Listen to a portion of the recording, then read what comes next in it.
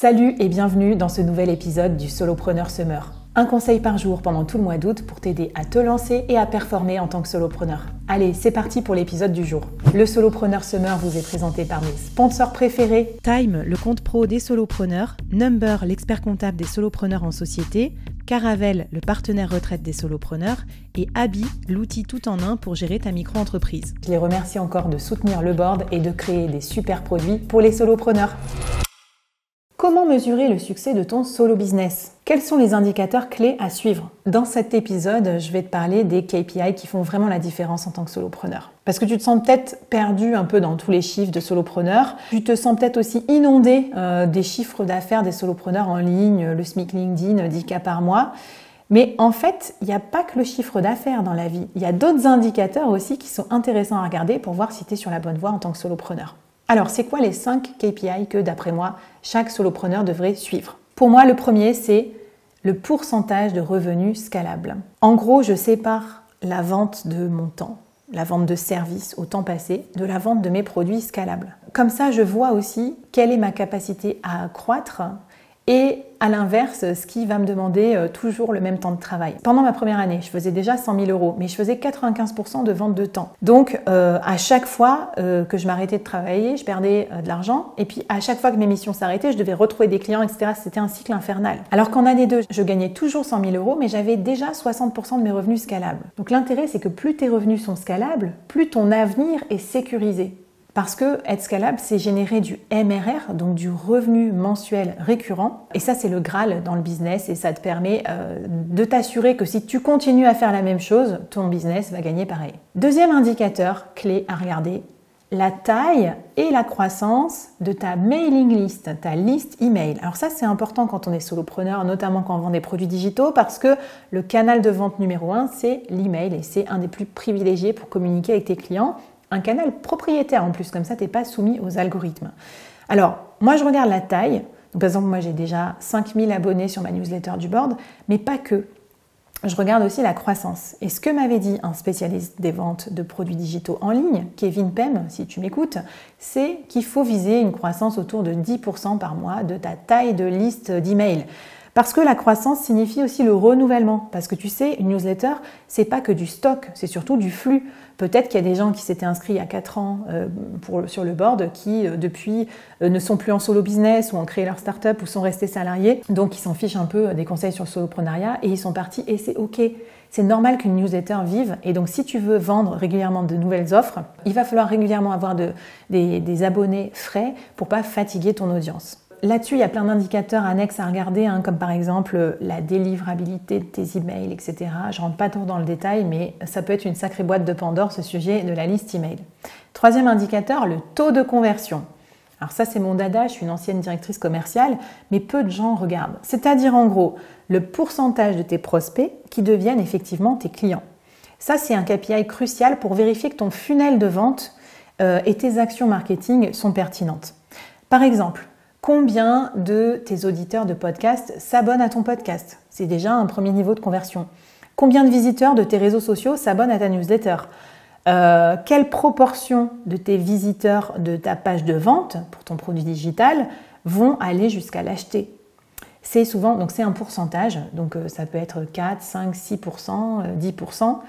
Si ce taux est bas, c'est peut-être le signe qu'il faut revoir euh, soit ta proposition de valeur, soit ton processus de vente, soit ta copie sur euh, ta page de vente de produits digital. Donc, suis ce taux de conversion un peu comme le lait sur le feu, ça va être un excellent indicateur de ton futur succès. Quatrième KPI, le coût d'acquisition client, CAC, et la lifetime value du client, LTV. Alors c'est quoi ce machin-là? Là, ça ressemble à des trucs de start-up. Mais oui, tout à fait, parce que si tu as un business model scalable ou par exemple un modèle euh, de SaaS ou d'abonnement, tu vas te retrouver avec des indicateurs communs avec l'univers des startups.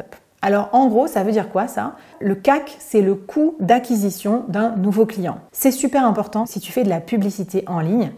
Par exemple, si tu dépenses 1000 euros en publicité Facebook et que ça te rapporte 10 nouveaux clients, ça veut dire que ton CAC est de 100 euros. L'objectif, ça va être de le maintenir le plus bas possible, tout en attirant des clients de qualité.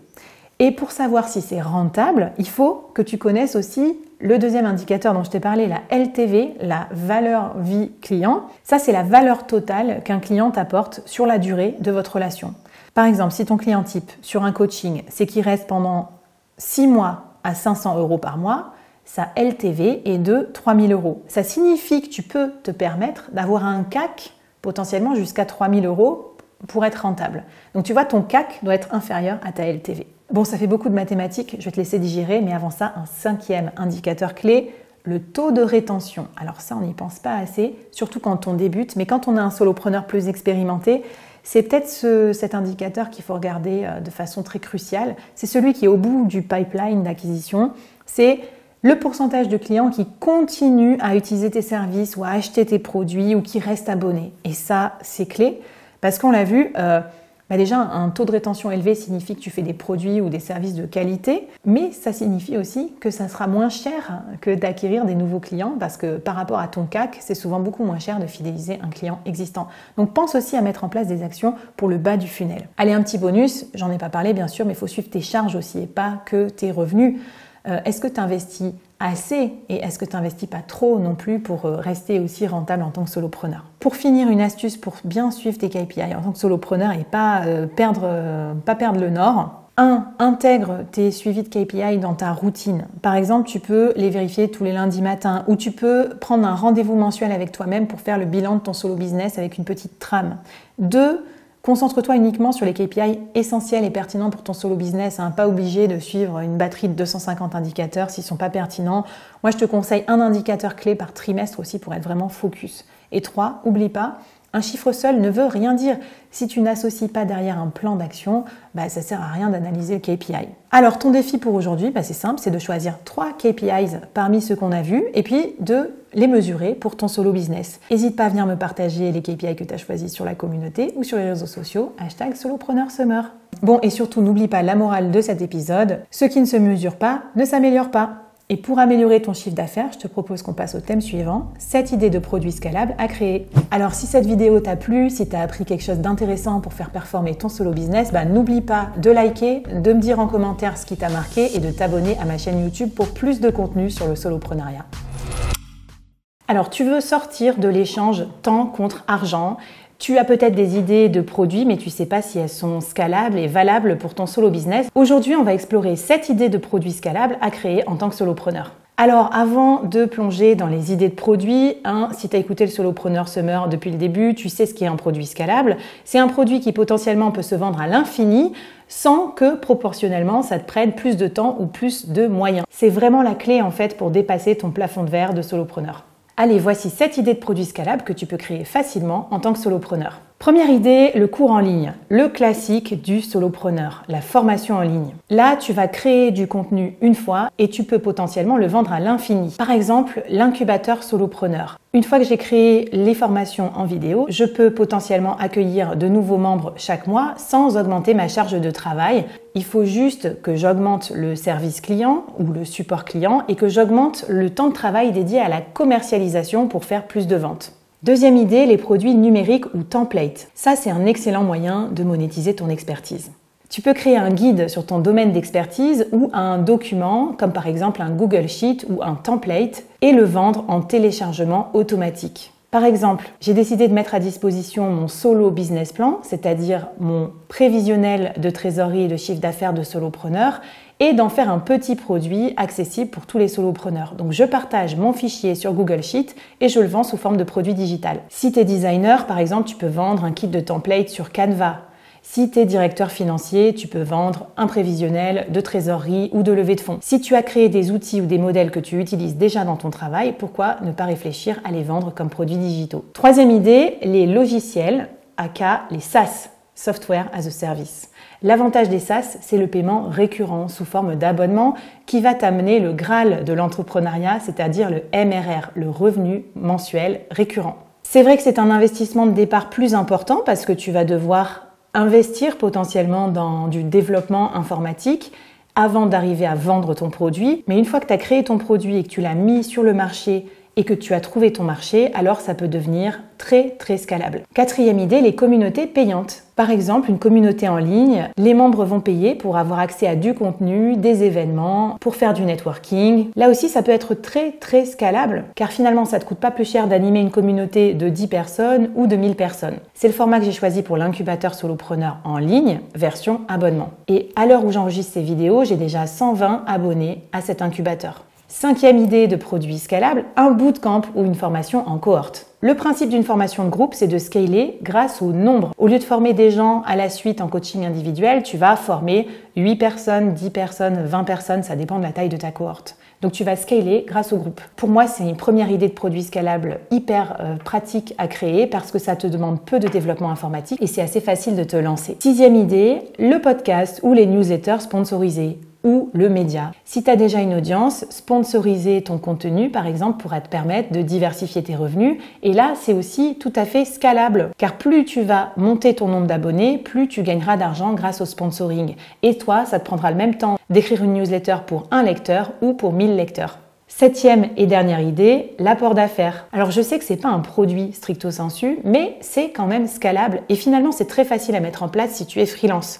Imagine par exemple si tu es développeur et que tu mets en relation des développeurs performants avec des entreprises qui recherchent des développeurs et qu'à chaque fois que tu fais une mise en relation, tu prends ce qui se pratique généralement en apport d'affaires, 10% de la facture annuelle la première année du développeur. Tu peux facilement gagner 10 000 euros par rapport d'affaires. Donc je te laisse faire le calcul, juste pour une mise en relation, c'est vrai que c'est assez efficace. Bon, alors, sympa les idées de produits scalables, mais ça a l'air de prendre quand même pas mal de temps de mettre tout ça en place. Alors, est-ce que ça vaut vraiment le coup de se lancer dans cette histoire de construction de produits? Eh bien déjà, ce que je voulais te dire, c'est que dans les sept exemples que je t'ai donnés, certains prennent plus ou moins de temps. Et tu verras, il y a plusieurs degrés de scalabilité. L'apport d'affaires est plus facile à mettre en place le bootcamp aussi, alors qu'une formation en ligne, par exemple, peut demander un peu plus de temps de développement. Donc à toi de bien choisir le temps dont tu disposes pour créer ton produit. Deuxième idée, une fois que tu as trouvé ton marché, tu vas avoir du revenu régulier, récurrent. Et ça, c'est génial parce que ça va t'aider à lisser tes revenus sur l'année, te tranquilliser, te sécuriser et diversifier tes revenus, prendre moins de risques aussi sur ton année de solopreneur et ça, ça n'a pas de prix. Évidemment, ça t'apporte aussi plus de liberté dans ton planning car une fois passé cet investissement en argent et en temps, tu vas libérer du temps dans ton agenda. Tu as aussi un fort potentiel de croissance, y compris pour faire croître la valeur de ton solo business au global. Car si demain tu veux revendre ton solo business, il coûtera plus cher avec un produit scalable qui rapporte déjà de l'argent sans toi que si tu fais de la prestation de service individualisée et sur mesure. Donc pour la valeur à long terme, c'est top de créer un produit scalable. Pour aujourd'hui, voici ton défi. Parmi les 7 idées que je t'ai exposées, choisis-en deux et fais un brainstorming de 10 minutes sur ces deux idées pour voir quel produit tu pourrais créer pour ton solo business. Je te rappelle que tu peux partager avec moi tes idées et obtenir du feedback sur la communauté de l'incubateur solopreneur ou sur les réseaux sociaux avec le hashtag Solopreneur Summer. Allez, à suivre, quelles sont les compétences à développer pour devenir un bon solopreneur? C'est parti Alors si cette vidéo t'a plu, si t'as appris quelque chose d'intéressant pour faire performer ton solo business, bah, n'oublie pas de liker, de me dire en commentaire ce qui t'a marqué et de t'abonner à ma chaîne YouTube pour plus de contenu sur le soloprenariat. Aujourd'hui, on va parler d'un enjeu clé pour le solopreneur. Quelles sont les compétences clés à développer pour être un bon solopreneur? Est-ce qu'il faut suivre des formations pour développer ses compétences? Est-ce qu'il faut des compétences techniques? Est-ce qu'il faut des compétences comportementales? Bienvenue dans ce 13e épisode du Solopreneur Summer où je vais t'aider à développer des compétences rares et précieuses pour devenir un meilleur solopreneur. C'est parti Aujourd'hui, je vais te parler d'un concept qui pourrait bien changer ta façon de voir les compétences en tant que solopreneur. Ce concept, c'est le concept des compétences en T. T comme la lettre T. Alors c'est quoi ça, les compétences en T Alors c'est d'avoir d'un côté une large base de connaissances multiples et variées, c'est la barre horizontale du T, et puis d'avoir aussi une compétence profonde dans un domaine spécifique, c'est la barre verticale du T. Pour le solopreneur, cette approche des compétences en T est particulièrement pertinente. Pourquoi? L'expertise profonde. Ça, c'est ton expertise principale de solopreneur, ce pourquoi les clients viennent te voir, ta niche fertile si tu veux. Par exemple, pour moi, c'est d'accompagner les freelances à avoir un business model plus scalable. C'est ce pourquoi on vient me voir moi et pas mes concurrents. C'est ce qui me différencie de mon marché, c'est ce dont je pourrais parler pendant des heures et c'est vraiment mon expertise de niche. Mais pour gérer mon solo business, j'ai aussi besoin de toutes les autres compétences qui sont dans la barre horizontale du T à savoir des compétences généralistes, parmi lesquelles le marketing et la vente pour attirer et convertir des clients, La gestion financière pour gérer mon solo business, euh, comprendre mes dépenses, mes gains, euh, gérer mon prévisionnel financier. La productivité et la gestion du temps, bien sûr, pour pouvoir jongler entre toutes mes différentes tâches. La communication pour interagir efficacement avec mes clients, mes partenaires, communiquer sur les réseaux sociaux mais aussi la tech, choisir les bons outils qui vont m'aider à aller plus vite dans mes tâches, etc., etc. Alors maintenant qu'on a reconstitué le T, on va voir comment développer ces compétences horizontales et verticales. Pour l'expertise profonde, c'est simple, on en a déjà parlé. Premier point, pivoter sur une expertise de niche qui soit vraiment rare, chère. Donc choisir une niche fertile pour vraiment te distinguer. Deuxième étape, se former continuellement dans ton domaine. Si tu es vidéaste, il faut tu suives des formations.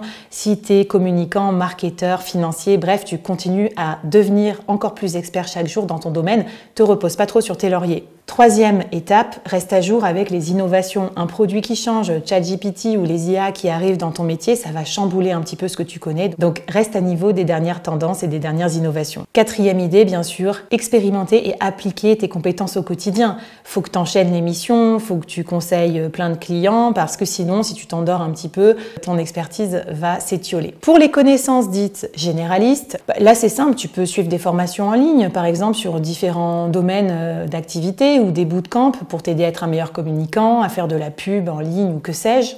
Tu peux lire des livres euh, ou des blogs spécialisés. Rappelle-toi notre épisode 10 sur les 10 livres que je t'ai conseillés en tant que solopreneur. Et puis surtout, je trouve qu'en tant que solopreneur, tu apprends en faisant. Alors lance-toi, euh, lance-toi à fond dans ces domaines. Et euh, par exemple, c'est en prospectant toute la journée que tu vas devenir un meilleur vendeur, un meilleur commercial. Tu peux aussi te faire coacher par des experts par exemple, moi j'aime bien prendre des office hours, des petits rendez-vous d'une heure de stratégie avec des personnes meilleures que moi et expertes d'un domaine entier que moi je ne maîtrise pas pour développer mes compétences généralistes de solopreneur. Bon, ça fait beaucoup de compétences à maîtriser tout ça, me diras-tu.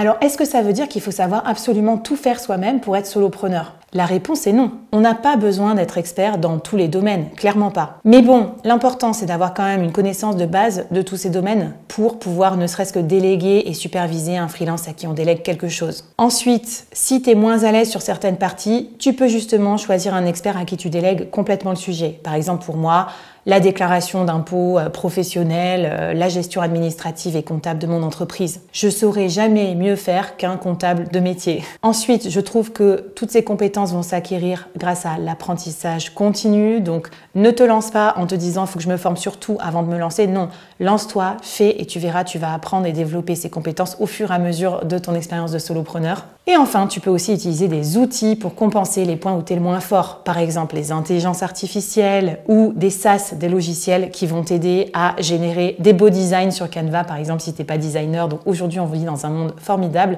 où on a des outils à notre service pour nous aider à être un peu moins mauvais et un peu plus moyen sur toutes les compétences généralistes dont on a besoin pour notre business. Alors le défi pour aujourd'hui, il va être graphique. Tu vas prendre une feuille et dessiner ton T avec tes compétences. Dans la barre verticale, note ton expertise euh, de niche et comment tu pourrais l'approfondir, l'agrandir.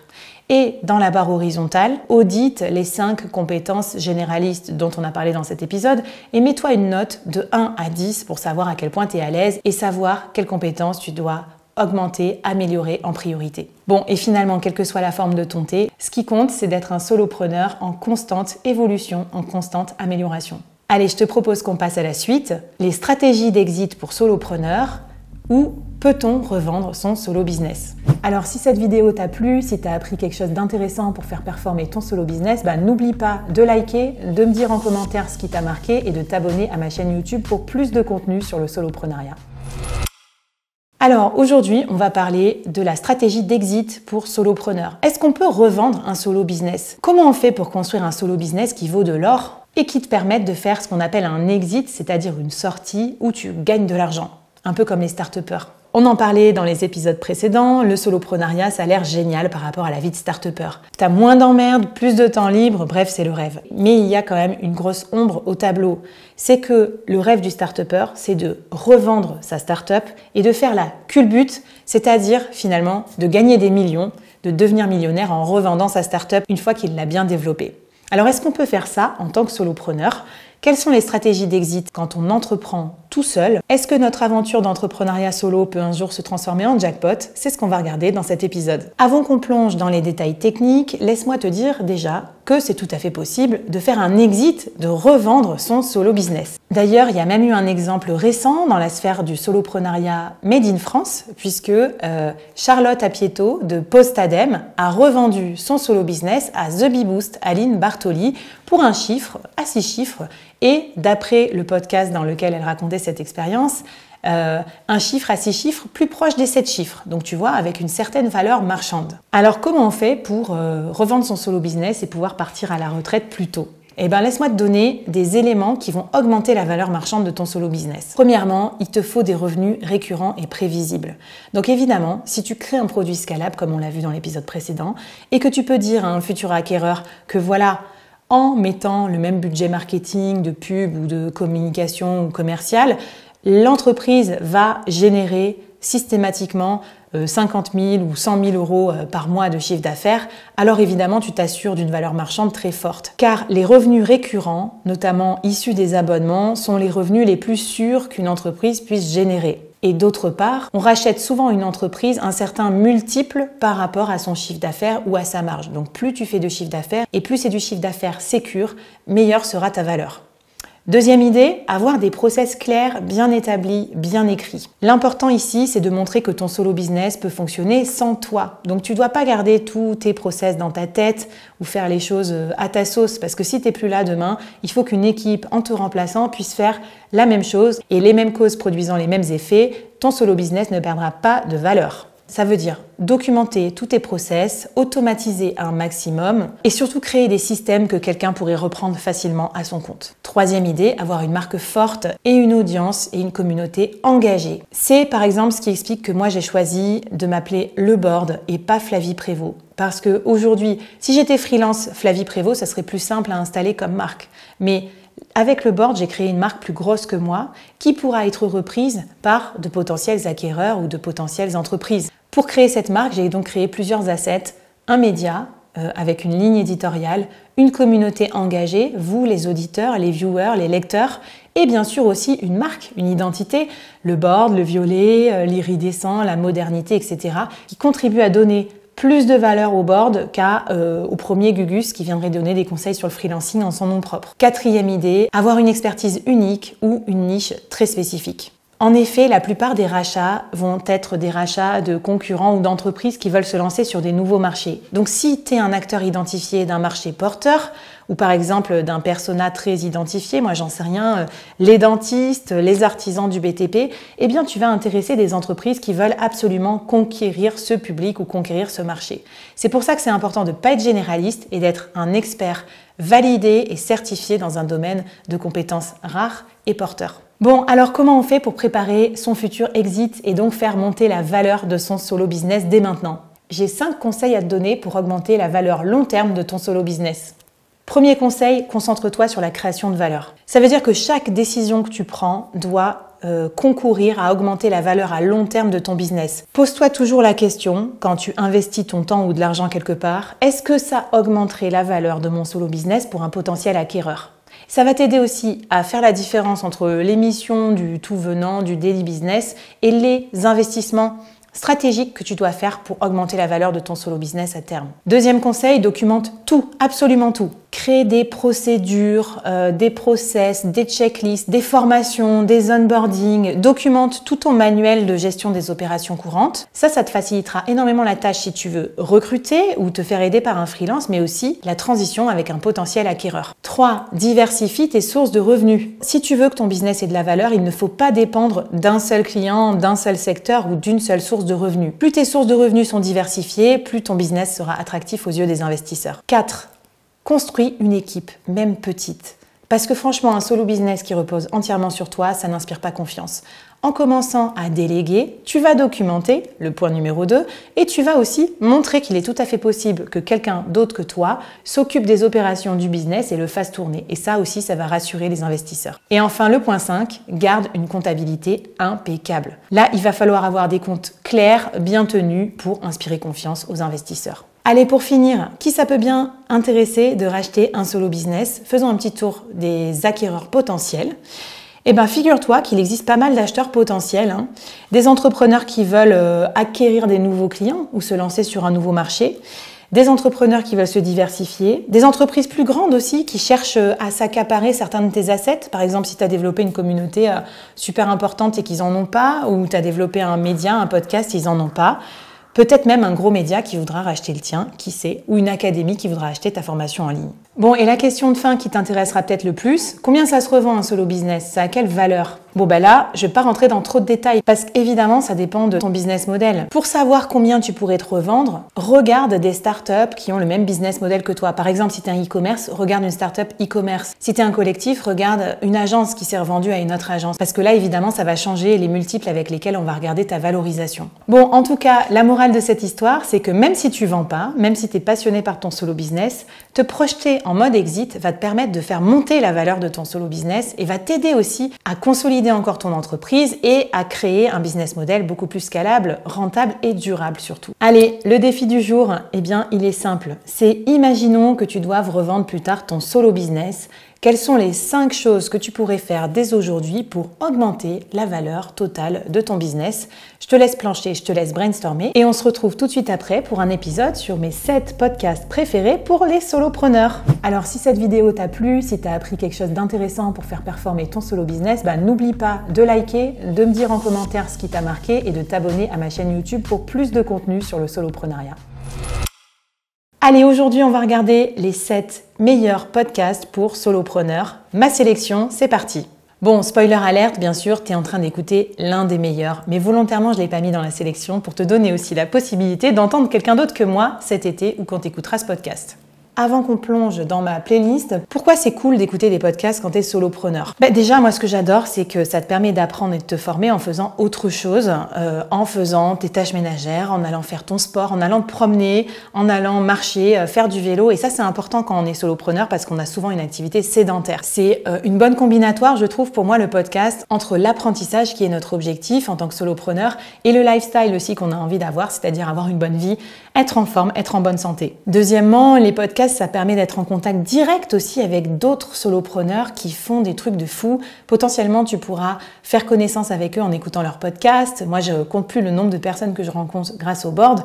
Connaître leurs coulisses aussi, euh, leur retour d'expérience. Moi, ce que j'adore particulièrement, ce sont les épisodes solo cast, c'est-à-dire euh, des épisodes solo où les solopreneurs vont raconter leur expérience et leur build in public, donc construire en public. Par exemple, les épisodes bilan où ils partagent leurs chiffres d'affaires, leurs réussites, leurs difficultés. Je trouve qu'on apprend énormément dans ce domaine de niche qu'est le soloprenariat. Enfin, écouter des podcasts, ça permet de rompre la solitude aussi du solopreneur. Bah, déjà, tu as l'impression d'avoir un pote qui te raconte un peu sa vie. Tu peux rencontrer aussi le podcasteur ou d'autres auditeurs qui, comme toi, écoutent le même podcast. C'est comme ça que j'ai commencé à créer la communauté autour du board et de faire se rencontrer des freelances et des solopreneurs qui aujourd'hui apprennent énormément au contact les uns des autres. Allez, c'est parti pour ma sélection de podcasts. Je préfère te préciser que je vais en donner certains en anglais. Si tu parles pas encore la langue de Shakespeare, ben, peut-être qu'un jour ils seront traduits par l'intelligence artificielle. Mais effectivement, le soloprenariat aux US, c'est quand même quelque chose. Donc, euh, je vais souvent chercher des pépites de ce côté-là de l'Atlantique. Allez, podcast numéro 1, le board. Bon, évidemment, c'est le mien, je ne peux pas ne pas le mentionner. Et surtout pour te parler du format habituel qui n'est pas le solopreneur summer. Pourquoi c'est génial d'écouter le board quand tu es solopreneur? Bah Parce que c'est des formats courts, donc 5 euh, à 10 minutes par épisode. Tu peux le caler facilement dans ta journée overbookée. C'est fun, c'est rapide et à chaque épisode, je te donne un défi vraiment pratique pour t'aider à passer du concept à la mise en application. Parce que c'est bien beau d'apprendre des choses tout la journée, mais si tu les appliques pas, ça fera pas de toi un solopreneur à succès. Grâce à mes épisodes, tu vas progresser sur les quatre piliers de la scalabilité, expertise, médias, produits et communauté. J'ai aussi une newsletter qui sort tous les vendredis avec euh, les défis du podcast de la semaine, des ressources en plus et aussi un template par semaine pour aller plus vite pour construire ton solo business. Bref, il est génial, mais c'est pas moi qui le dis, c'est le demi-million d'indépendants qui a déjà écouté le board. Donc merci à tous si vous en faites partie. Le deuxième podcast que je te recommande, c'est Online Marketing Made Easy d'Amy Porterfield. Si tu vends des produits en ligne, c'est un podcast must parce que cette fille, elle est spécialisée dans la construction de formations en ligne. Avec ce podcast, tu vas augmenter tes compétences de marketing digital, tu vas avoir des retours d'expérience sur des lancements de formations en ligne, de communautés payantes, etc. Les États-Unis sont pas mal en avance par rapport à nous, en plus sur ces nouveaux business models, donc vas-y écoute. Une version française variante que j'aime bien aussi, c'est Le bout du tunnel de Kevin Pem qui décortique aussi des lancements de produits avec des coachs en ligne ou des formateurs en ligne, donc une bonne variante si tu parles pas anglais. Troisième podcast que j'aime bien, un peu un classique des solopreneurs, Smart Passive Income de Pat Flynn. Ça, c'est euh, une référence en fait dans euh, la construction de revenus passifs en ligne. Son podcast bon, couvre une grande variété de sujets. Je te laisse écouter du marketing euh, en ligne à la vente de produits digitaux scalable. Donc vas-y. Quatrième type de podcast que j'aime beaucoup, ce sont les podcasts spécialisés sur la création de médias. Parce que qui dit solopreneur dit avoir un média pour faire parler de soi. Alors là, j'en ai plein à te conseiller. Euh, tu as Newsletter Operator, qui est un podcast américain sur l'art de construire une newsletter qui trouve son marché et qu'on puisse monétiser. Tu as Antipop, le podcast d'Anne-Claire Leca, ma copine podcasteuse, sur la construction d'un podcast performant. Euh, tu as Creator Science de Jay Klaus, avec toujours mon magnifique accent américain. Ça, c'est spécialisé en créateur de contenu et comment monétiser ta création de contenu. Donc, euh, une mine d'or. Donc, tous ces podcasts sur les créateurs de contenu sont très très bons et très intéressants. Et là, je te laisse aller fouiller ce qui correspond à ton type de média. Il y a aussi des podcasts, bien sûr, sur des youtubeurs, etc. Donc, je te laisse aller fouiller. Cinquième podcast que j'aime bien, si tu construis un solo business de type agence ou collectif, c'est le podcast Road to 10 Million de Théo Lyon. Donc, lui, c'est un entrepreneur français qui a créé une agence d'acquisition en ligne, Kudak, et qui raconte, qui documente un peu comment il fait grandir son agence. Donc voilà, si tu veux scaler en mode agence, ça t'intéressera. Et c'est un format solocast aussi assez libre où il a pas mal de choses intéressantes à raconter euh, sur sa d'un business euh, scalable euh, de type agence. Sixième podcast que je te conseille, The Side Hustle Show. Donc ça, c'est si tu es un salarié diversifié, c'est-à-dire que tu es en CDI et tu lances un side business, un solo business à côté.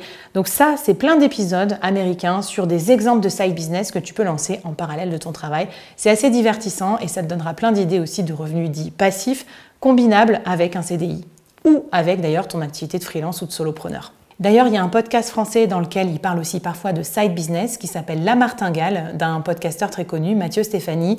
C'est un podcast sur euh, les finances perso. Et donc, ce podcast va t'aider à soigner autant tes finances perso que pro. Ça peut être un bon complément pour faire fructifier ton capital euh, pro et perso. Septième conseil, évidemment, mes confrères et consoeurs podcasteurs sur le freelancing et le soloprenariat. Il n'y en a pas beaucoup en France, mais il y en a quelques-uns.